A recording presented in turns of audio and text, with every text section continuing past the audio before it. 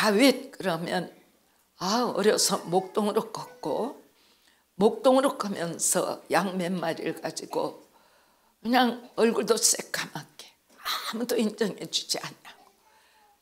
그 아빠에게는 여덟째 말째인데 왕을 삼는데도 사멸 선지자가 그 가정을 방문했을 때 이새는 일곱 명의 아들만 쭉 서서 사무엘의 기름 부음을 받도록 하고 그 안에 이 나라 임금의 재목이 일곱 개 일곱 아들 안에 있을 거다 하고 펼쳤는데 하나님은 아니다. No, no, no. 아니다라고 하니까 사무엘 선지자 예언자는 아들이 또 있습니까? 여기에 서 있는 일곱 아들이 말고 또 있습니까? 저는 우리가 전도해야 되고 영혼을 구현해야 될 것이 하나님 앞에는 참 우리에게 충격을 주는 일이 많아요. 참 고상하고 많이 배우고 사회적으로 위치가 있는 사람들이 교회에서도 그 세상적인 존중함이나 존경심 때문에 다소간의 노편을 받고 있죠. 나 하나님은 그게 아니죠. 누구를 향해서 가지고 계셨어요. 다윗은 여덟째인데 성경의 해석학자들을 보면 본부인의 아들이 아니지 않을까. 그래서 그 아들 일곱에 여덟째로 쓰지를 못하고 들판에 있지만 예언자가 불러도 그 자리에 나올 수 없는 그런데 하나님은 아니야 아니야 아니야 아니야 아니야 아니야 일곱 번을 하시더니 예언자가 아들 또 없니? 아들이 하나가 있는데 들판에서 양을 기르고 있습니다. 그래서 그 아들이 딱 왔는데 하나님이 이자다라고 해서 하나님이 뽑으신 거다. 교회 생활에 있어서 서로가 서로를 보며 하나님 이 사람은 하나님께서 굉장히 사랑할 거야라는 우리의 추측들이 어, 느 시간에는 완전히 무너져 내릴 때가 있어요. 그 이유를 하나님은 아세요. 그런데 이유를 우리는 전혀 모를 때가 있어요. 그래서 사람의 노력으로 다윗의 아버지 이세가 했듯이 우리의 생각으로 하지만 하나님은 그 영혼을 비켜버리고 다른 것을 찾아라 하시는 음성을 우리에게 들릴 때가 있다.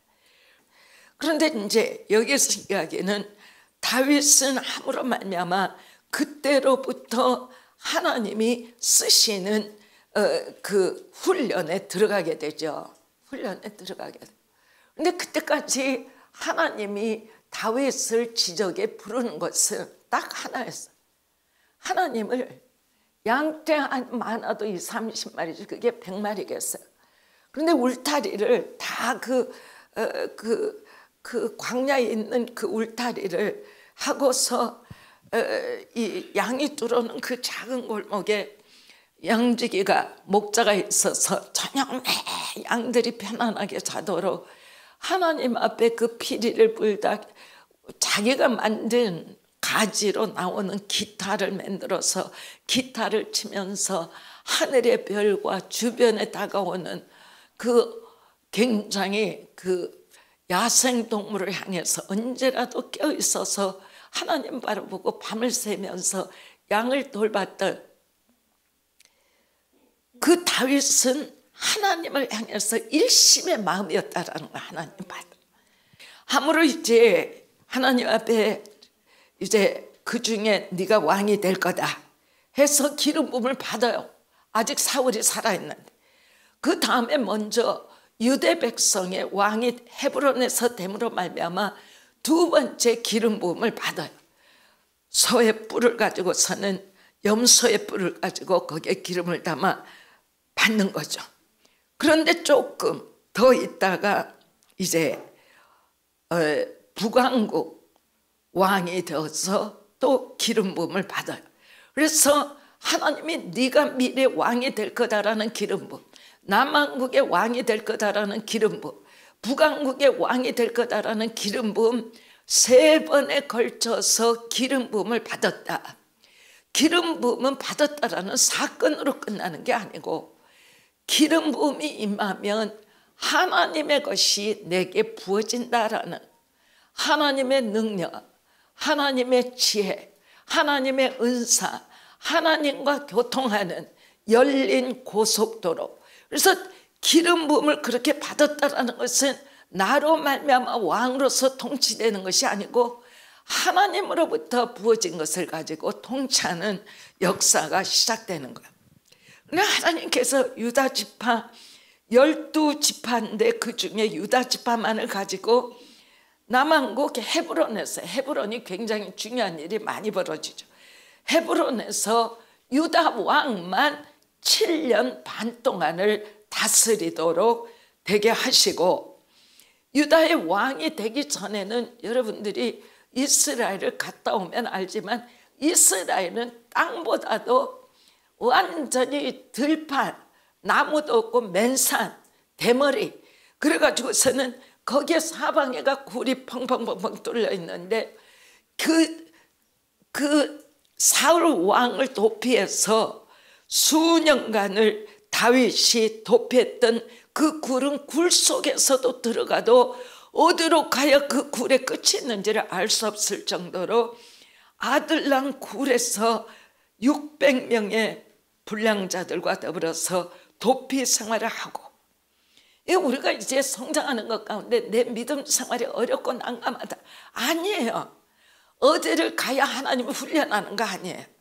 내가 서 있는 자리에서 훈련시켜요. 내가 나를 훈련시키겠다. 절대로 하나님 못 만나. 내가 서 있는 그 자리에서 주님이 훈련시켜요. 하나님은 너무나도 전지전능하시고 무소부재하시기 때문에 가정이면 가정, 교회면 교회 어디를 가야가 아니라 때로는 그 사람이 성교지에 가서 훈련 받을 수도 있죠. 그러니까 내가 믿음 생활하는 그 자리에서 하나님이 마음껏 나를 주님의 사람으로 훈련시켜 주시면 훈련 받 신학교에서 훈련 안 시켜요.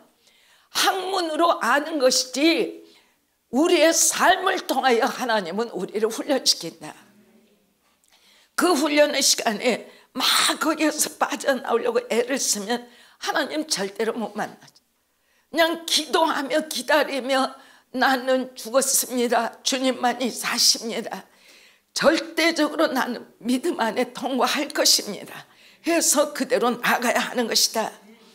그 도피 생활을 하고 그 다음에는 3일상 6장을 보면 사울을 피해서 그 다음에 사울이 왕이 되고 무조건적으로 이 다윗이 궁전의 악사가 되어서 사물에게 아, 사울에게 귀신 들린 것 가운데 어, 이, 이 다윗이 어, 그 기타를 치기만 하면 귀신이 떠나가고 기타를 치지 않으면 다윗이 서 있는데 죽인다고 창을 던져서 다윗의 옆, 옆을 스쳐 지나가는 그 엄청난 어둠 두 영에 쫓기고 있는 사울이었다.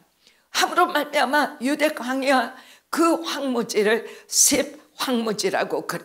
그래서 그 황무지에서 생활하다가 그 다음에는 엔데 엔게디 동굴에 가서 사울이 못 찾도록 수년을 하고 그 다음에 또 사울을 숨어서 하길라 산으로 도망을 가고 그 다음에 마온 광야로 들어가서 어, 그 광야의 생활을 하고 이 엄청나게 세상에 하나님은 그냥 한 방에 돌을 던져서 그 엄청난 골리앗을 죽이게 하고 함으로 말미암아 사울은 천천을 이기되 다윗은 만만을 이긴다 라고 여인들이 소리치고 그 다음에는 그 딸을 사울이 내 사위가 되어라 했는데 그 다음부터 사울이 사위를 시기 질투하기 시작하며 다윗은 한없이 정체 생활을 한다. 이 정체 생활이 다윗에게는 하나님께서 무엇을 주셨고 무엇 때문에 다윗은 그 엄청난 지금까지도 우리가 말할 때 예수님은 다윗의 후손이다 이렇게 말하죠. 하나님의 마음을 그렇게 강력히 잡았대. 누구도 친구도 없어. 친구 하나 있었던 거 결국은 살과 죽을 때 함께 죽어버리고 자기한테는 장군 하나도 없어. 자기한테는 아들도 전부 다 구테타로 분실되고 또 자기 아내들은 아내들대로 날리고 우주 가운데 나 혼자 남아 있다라고 할 때 누가 그를 승리겠어요? 모든 환란과 어려움과 외로움 가운데도 하나님이 저와 함께. 한 번도 다 했어. 하나님 너무하십니다. 하기 때문에 여러분들이 딱 150편의 시편을 보면 절반이 다이드시예요. 근데 다이드시는 우리에게 막 그 심령 안에서 터져 나오는 그 아픔을 그대로 썼어요. 아무것도 참지 않고 그대로 썼어요. 그래서 우리가 다윗을 참 귀하게 보는데 우리가 삶의 환경에 삼켜지지 아니하고 환경의 피해자가 되지 아니하려면 하나님 앞에 더더욱 강력하게 주님 앞으로 달려가야 한다. 새로운 예배로 하나님만을 자기가 이길 수 있는 것은 하나님만을 예배하는 것이 모든 것이기 때문에 온 힘을 다하여 주님께로 돌파해서 나가면 어떤 삶의 과정이 자기가 면대한다 할지라도 오직 믿음 가지고 성장해서 하나님 내 삶은 아무것도 내가 감당할 수 없습니다. 주님께 드립니다. 이것이 다윗의 삶의 여정이에요. 아멘. 다윗은 자기 삶의 어, 이유가 없는 고난을 하나님 앞에 예배로 승화시켰습니다. 아무로 아무리 억울하게 했던 모든 사람들을 보복이라는 방법이 아니라 끌어안고 용서하고 포용함으로 하나님의 뜻을 일궈냈습니다. 자기가 왕되는 힘과 권위를 가지고 이웃 사람들을 파괴하고 완전히 억울게 하는 그러한 방법을 취하지 않았습니다. 다윗은 17살에 하나님을 만났지만 37살이 되었습니다. 20년이 지난 다윗은 이미 다른 사람이었습니다. 하나님을 더 깊고 더 거룩하고 하나님의 마음 속으로 파고 들어가는 진정한 예배자가 되어 있었습니다. 언제든지 20년을 용서하고 사랑했더니 어떤 일이라도 옳게 판단할 수 있는 바른 판단의 사람이 되었습니다. 또 자기가 어려웠기 때문에 그 어려운 사람들을 너무너무 깊은 사랑으로 받아들일 수 있는 사람이 되었습니다. 이러한 삶의 여정은 다윗으로 하여금 드디어 그러한 고난과 그러한 훈련 안에서 자기의 삶이 어떤 사람이 되어야 된다라는 것을 깨닫는 순간부터 나는 하나님 앞에 어떤 사람이 되어야 한다라는 진정한 예배자의 모습을 찾기 시작했습니다. 다윗은 예루살렘만이 이스라엘의 정치적 수도가 되어져야 하고 정치적 수도가 되려면 반드시 영적인 수도가 되어져야 한다라는 정치적인 리더십의 하트에 예루살렘은 이스라엘의 수도다. 그러나 이 수도는 하나님이 계시는 수도의 중심이라야 한다. 해서 그 나라의 수도를 강화시키는 그러한 어, 마음을 가졌습니다. 함으로 말미암아 다윗은 예루살렘이 왕으로서 예루살렘으로부터 통치하는 것이 아니라 하나님께서 통치하는 곳이 되어야 한다. 야 이거 예루살렘이 내가 통치해 이건 말이 안 되잖아. 하나님 계시는 곳에 하나님이 통치하시는 곳으로 예루살렘이 바꿔져야 되겠다. 얼마나 다윗은 귀해요. 그래서 다윗은 예루살렘이 하나님을 예배하는 것이 되기를 소원함으로 말미암아 그 법계가 있다라는 그 기랏 여아림 장소 이름이에요. 기랏 여아림 거기 아비나답의 집에 그냥 그 블레셋 군인들을 만나마 던져졌는데 거기에서 있다 보니 그 집이 엄청난 하나님의 축복을 받는 거야. 하나님의 법계가 이 바로 아비나답의 집에 있어 20년이 되어서 20년이 되어도 제사장들이 이스라엘의 왕인 사울이 하나님의 법궤를 예루살렘으로 메실 생각을 안 한 거야. 그런데 다윗은 그 생각을 했다 그러면 하나님의 법궤는 예루살렘으로 와야 한다.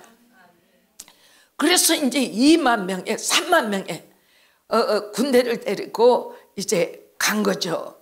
20년이나 계신 곳에. 그래가지고 다윗은 20년이나 예루살렘을 떠나 계셨던 이제 기랏 여아림의 아비나답의 집에 가서 우리 하나님을 메시고 온다고 상상을 좀 해보세요.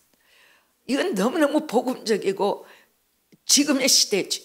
주님이 오신다고 그러니까 진짜 막 멋있는 수레를 새로 만들어서 맛있는 수레 그리고 이 수레에다가 벗개를 매시다 그리고서는 이제 아빈아답의 두 아들이 한 아들은 앞에서 끌고 가는 소, 한 아들은 그 몸체 실어진 벗개 뒤에 벗개에 어떤 일이 벌어지면 안 되니까 그 두 아들이 그 집에서 하나님의 축복을 체험했고 또 그러한 일을 할 수 있는 반열의 사람들이니까 그렇게 하라.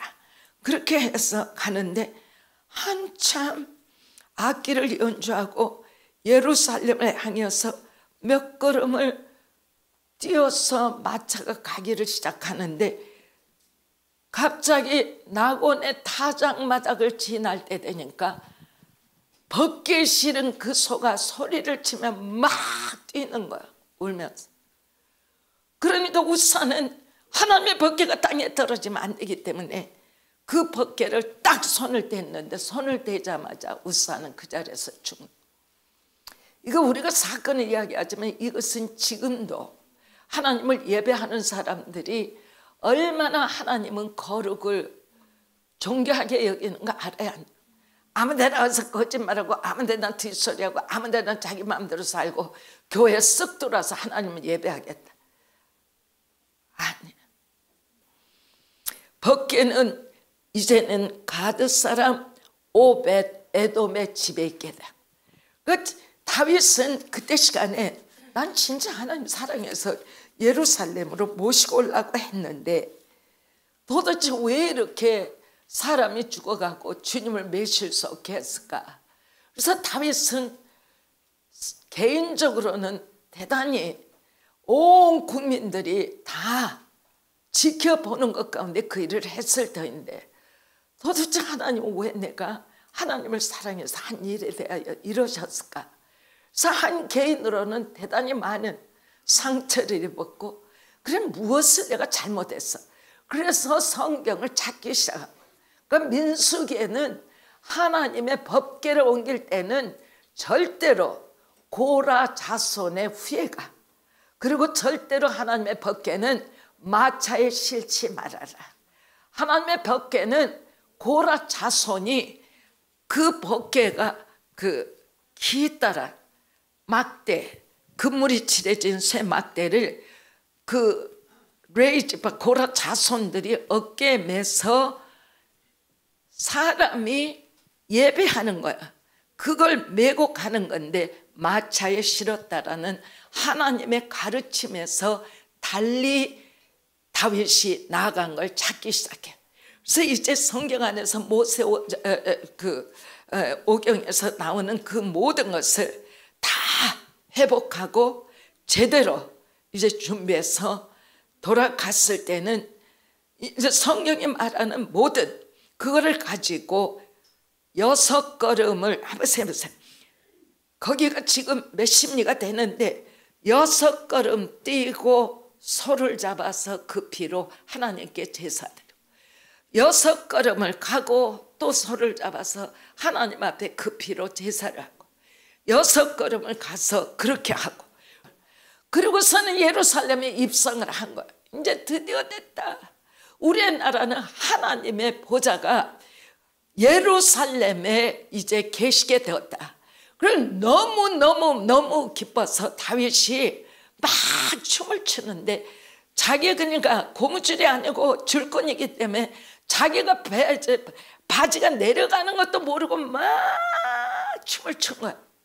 근데 그 춤을 추는 것을 성벽에서 내다보던 미갈이라는 자기 여자는 저 상스러운 거. 아무것도 귀족이 되지 못하고 뜰에서 양이나 길렀던 저 작자. 그러니까 저렇게 가장 고상하고 가장 조용하고 가장 엄숙할 시간에 저렇게 그냥 덩글덩글 뛰다가 옷이 내려가도 모르 그걸 그냥 자기 남편 앞에 가서 말해봐라 그러니까 그 면대한 다윗은 자기가 그거보다 더한다 할지라도 내가 온 몸을 벗은다 할지라도 나는 하나님 앞에 기뻐 춤추겠다. 그 날로 다윗이 미갈에게 들어간 일이 전혀 없어요. 부부 관계가 끊어져 버렸어요. 여기에서 굉장히 교회는 심각하다라는 거 아셔야 돼.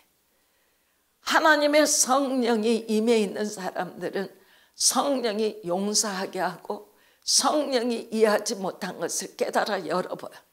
성령을 깨닫지 못한 사람은 자기 지성으로 판단하기 때문에 자기가 하는 말이 하나님 앞에 위배되어도 위배되었다라는 것을 못 찾아.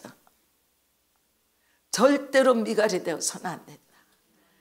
다윗은 우리가 예배자가 되는 데 있어서 모델이에요. 자기께 자기로 돌아가면 절대로 예배자는 안 돼요. 나를 위해서 내 중심으로 무엇을 찾으면 그때부터 하나님하고의 관계가 본질적으로 체험한 것이 돌아오질 않아요. 근데 다윗하고 솔로몬이 다윗이 경험한 이것 때문에 다윗은 끊임없이 솔로몬에게 하나님 앞에 예배가 얼마나 본질적으로 소중하다라는 것을 가르쳐 줬기 때문에 예루살렘으로 돌아와서 다윗은 예루살렘 그 모리아산 꼭대기에다가 천막을 짓고 그리고 천막으로 다 가려져서 성소 지성 지성소는 대제사장 성소는 제사장 이렇게밖에 못 들어가는데 다윗은 어떤 성소 성막을 만들었냐면 비가 오면은 비에 젖지 않도록 법궤를 노출시켰어요. 그리고 뚜껑만 있는 성막을 만들어서 전 세계에서 누가 오든지 2천 명이나 되는 그 막 악기와 찬양으로 하나님 앞에 24시간 365일 그치지 않는 예배를 드리는 이스라엘의 그러한 제사장들의 예배 드리는 모습과 주님의 그 속죄소 위에는 법계 위에서는 가장 강력한 불이라는 것, 정결하는 불이라는 것, 이 땅에는 없는 불이라는 것을 증거하는 새파란 불이 365일 밤낮으로 바람에도 꺼지지 않는 그 불이 계속 타고 있는 것을 이스라엘의 유대 백성만이 아니라 온 세계 사람으로 와서 다 보게 했다. 이것이 바로 예배가 하나님 앞에 옛 시편 전체가 하나님 앞에 예배송으로 드려질 수 있는 것이 하나님을 향하여 개인이 나를 설명할 수 있는 그러한 예배 시작이 되고 하나님을 향하여 그 앞에 가서 하나님 나는 죄를 지었습니다. 하나님의 거룩 앞에 나는 설 수 없는 죄인입니다. 고로 하나님 내 죄를 용서해 주세요를 그 새파란 정결한 불 앞에서 그거를 회개할 수 있는 그 길을 연 거예요. 아멘. 그래서 다윗왕과 솔로몬 때 예배 특별히 다윗왕 때는 예배가 너무너무너무 역동적이었어요.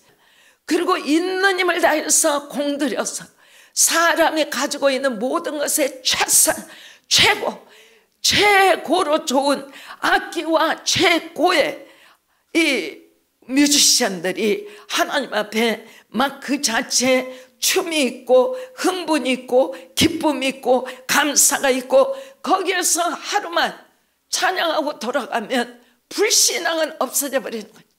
나는 하나님의 능력이 내게 임해 들어와 어느 순간이라도 와라.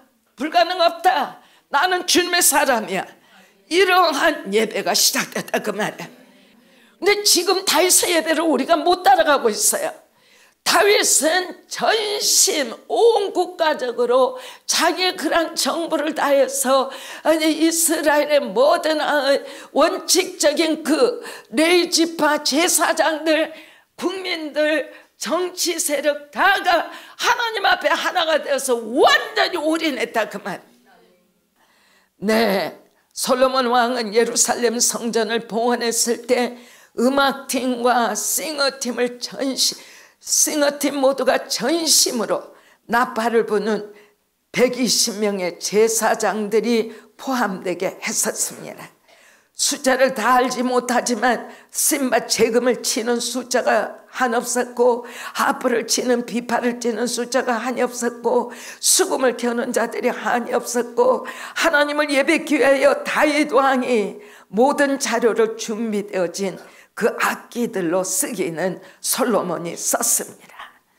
다윗의 아들 솔로몬은 새 성전을 봉헌하면서 하나님 앞에 고백의 기도와 언약의 기도를 이스라엘을 위하여 드렸고 그때 주님의 반응은 얼마나 하나님의 거룩이 가득한지 그 전에 제사장들도 들어갈 수가 성전에 들어갈 수가 없었더라 했습니다. 구약에서 이루어진 이것의 모든 것은 신약에서는 그리스도 안에서 그것보다 더한 것을 할수 있어요. 지난 금요일 날 너무너무 정결하고 너무너무 깨끗한 하나님의 불이 하나님의 성전에 임했어. 이 불은 더 강하게 주일날 1부, 2부, 3부 매일 새벽 기도 그 불이 우리를 주장하시어 어떠한 환경 가운데 우리의 나라가 통과하고 있다 할지라도 어떠한 순간에 우리가 가고 있다 할지라도 하나님의 임재가 우리 모두를 승리케 하는 귀한 예배적 현실이 하나님으로부터 주어지는 교회가 되기를 주의 이름으로 축원해 드립니다.